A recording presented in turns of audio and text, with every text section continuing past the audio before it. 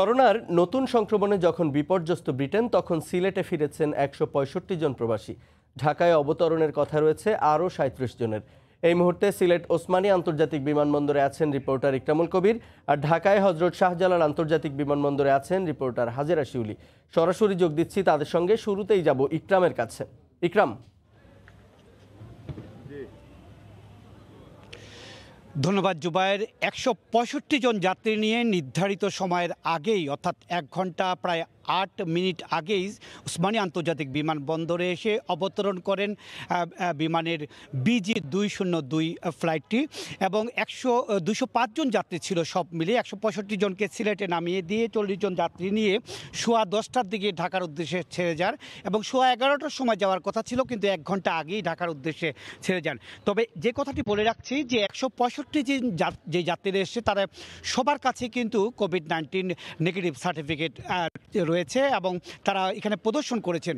এখানে আমার যাত্রীরা যেটা বলেছেন, হিথ্রো বিমানবন্দরে তাদেরকে দুটো সার্টিফিকেট নিয়ে ঢুকতে হয়েছে। একটা সার্টিফিকেট হিথ্রো বিমানবন্দরে তারা দিয়েছেন এবং আরেকটি সার্টিফিকেট ওসমানী আন্তর্জাতিক বিমানবন্দরে দিয়েছেন। সব কিছু মিলিয়ে এখানে বিমানের ব্যবস্থাপক রয়েছেন এবং স্বাস্থ্যকর্মীরা রয়েছেন, সবাই রয়েছেন, সেনাবাহিনী রয়েছেন। সেনাবাহিনী থাকার একমাত্র কারণ হচ্ছে কি এখানে যারা কোভিড নাইন্টিনের নেগেটিভ সার্টিফিকেট নিয়ে যারা আসেন, তাদের আসেন না, তাদেরকে কোয়ারেন্টিনে নেওয়ার জন্য সেনাবাহিনীকে দায়িত্ব দেওয়া হয়েছে এবং সেনাবাহিনীর তত্ত্বাবধানে এই তারা কবে কোয়ারেন্টিনে তারা যাবেন। কিন্তু এখন পর্যন্ত কোনো যাত্রীকে কোভিড নাইন্টিন নেগেটিভ সার্টিফিকেট ছাড়া পাওয়া যায়নি। অর্থাৎ একশো পঁয়ষট্টি জন যাত্রী কোভিড নাইন্টিন নেগেটিভ সার্টিফিকেট নিয়ে ওসমানী আন্তর্জাতিক বিমানবন্দরে এসেছেন এবং তারা ইতিমধ্যে প্রায় চলে গিয়েছেন। কিছু যাত্রী ভিতরে রয়েছেন। আপনারা দেখতে পাচ্ছেন, কিছু যাত্রীর ব্যাগেজ তোলা হচ্ছে গাড়িতে। এবং একটু বলে রাখা প্রয়োজন, অনেক যাত্রীর সাথে আমরা কথা বলেছি। কিছু কিছু যাত্রী বলেছে ব্রিটেনে যে ভয়াবহ পরিস্থিতি, করোনার ভয়াবহ পরিস্থিতি থেকে বাঁচার জন্য তারা বাংলাদেশে চলে এসেছেন। এক একজন প্রায় বাংলাদেশি টাকায় পনেরো হাজার টাকা, বিশ হাজার টাকা খরচ করে কোভিড নাইন্টিনের সার্টিফিকেট নিয়েছেন এবং সার্টিফিকেট নিয়ে তারা বিমা- এয়ারপোর্টে বিমানে উঠেন এবং বিমানের যারা ছিলেন তাদের সাথে আমি কথা বলেছেন বা যাত্রী, অনেক যাত্রীর সাথে কথা বলেছেন। তারা সন্তুষ্ট। বিমান, বাংলাদেশের যে যাত্রা এবং সিলেট, ওসমানী আন্তর্জাতিক বিমানবন্দরের যে ব্যবস্থাপনা এবং হেলথ যে ডেস্ক আছে ডেস্ক তবে হেলথ ডেস্কে তাদের একটা দাবি ছিল যে হেলথ ডেস্ক যদি আরও বাড়িয়ে দেওয়া যেত, তাদের এই এই ঝক্কি ঝামেলা বা তাদের কিউটা একটু কমে যেত। সব কিছু মিলে শান্তি শৃঙ্খলাভাবে এই যাত্রীরা সিলেট ওসমানী আন্তর্জাতিক বিমানবন্দর থেকে তাদের বিভিন্ন গন্তব্যে দিকে রওনা দিয়েছেন। এই মুহূর্তে আছে শাহজালাল আন্তর্জাতিক বিমানবন্দরে আমাদের সহকর্মী হাজারা শিউলি, আমি চলে যাচ্ছি যাচ্ছি তার কাছে। ধন্যবাদ, ইকরাম।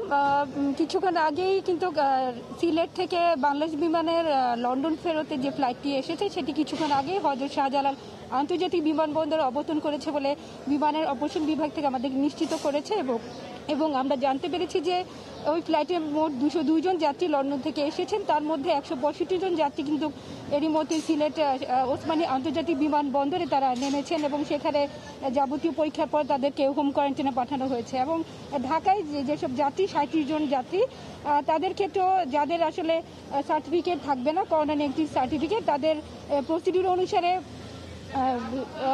আস্তরা হজ ক্যাম্পে বাধ্যতামূলক প্রাতিষ্ঠানিক কোয়ারেন্টাইনে নিয়ে যাওয়ার কথা এবং আমরা জানতে পেরেছি আসলে সব যাত্রী কিন্তু করোনা নেগেটিভ সনদ নিয়ে এসেছেন।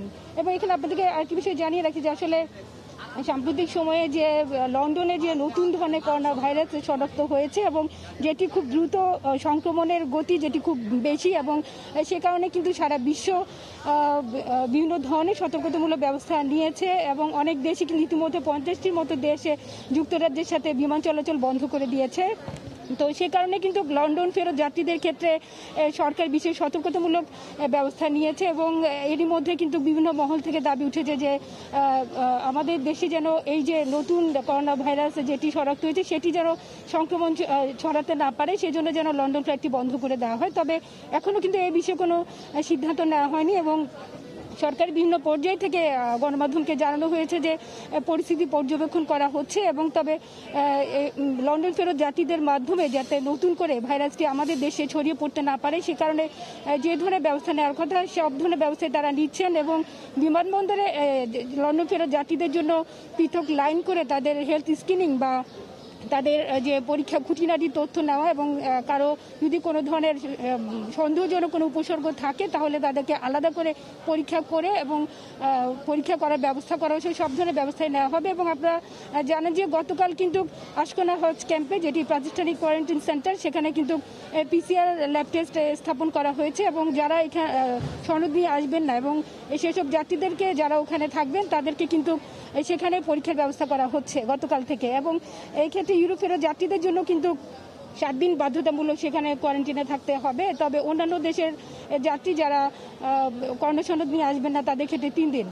তো গতকাল স্বাস্থ্যমন্ত্রী জানিয়েছেন যে সরকার এই বিষয়টি পর্যবেক্ষণ করছে এবং প্রয়োজনে কিন্তু সর্বশেষ ব্যবস্থা নেওয়া হবে। তবে আপাতত কিন্তু এখনও লন্ডন ফেরত যাত্রীদের লন্ডন ফ্লাইট বন্ধের বিষয়ে কোনো সিদ্ধান্ত হয়নি। আপনারা জানতে সপ্তাহে দুটি ফ্লাইট লন্ডন থেকে আসা এবং আসে এবং যায় এবং সোম এবং বৃহস্পতিবার লন্ডন থেকে বাংলাদেশ বিমানে একটি ফ্লাইট সরাসরি আসে। এছাড়া কিন্তু বিভিন্ন এয়ারলাইন্স টার্কিশ এমিরেটস এবং কাতার এয়ারলাইন্সও কিন্তু তাদের দেশ হয়ে লন্ডন যাত্রীদেরকে কিন্তু নিয়ে আসে। তো এই যে ট্রানজিট যাত্রী তাদেরকে, তাদের ক্ষেত্রেও কিন্তু সিভিল এভিয়েশনের চেয়ারম্যান বলেছেন যে সেসব এয়ারলাইন্সে বলা হয়েছে যাত্রীদের তালিকা তাদেরকে দেওয়ার জন্য এবং তাদের ক্ষেত্রে বিশেষ ব্যবস্থা নেওয়া হবে। জুবার এই ছিল আমার কাছে এখনকার মতো সবশেষ। দুই শতাধিক যাত্রী নিয়ে লন্ডন থেকে প্রথমে সিলেট, এরপর ঢাকায় অবতরণ করেছে বাংলাদেশ বিমানের একটি ফ্লাইট। সিলেট থেকে আমাদের সঙ্গে যোগ দিয়ে সে খবর জানাচ্ছিলেন সহকর্মী ইকরামুল কবির। এরপর ঢাকা আন্তর্জাতিক বিমানবন্দর থেকে আমাদের সঙ্গে যোগ দিয়েছিলেন সহকর্মী হাজেরা শিউলি।